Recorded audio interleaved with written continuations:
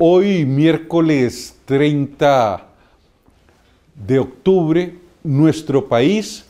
por vez primera ha aprobado un plan de acción en materia de seguridad pública. Recordemos que desde 1949 a la fecha, Costa Rica solo ha tenido dos políticas de seguridad. Por CEPAS que se emitió en el año 2010 que nunca llegó a tener un plan de acción y por lo tanto fue una política incompleta.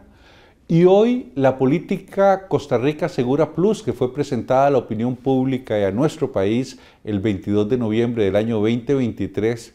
y hoy justamente 30 de octubre del 2024, hemos aprobado en el marco del sector seguridad del Poder Ejecutivo el plan de acción para que hacer realidad todos los compromisos de trabajo que tenemos en materia de seguridad.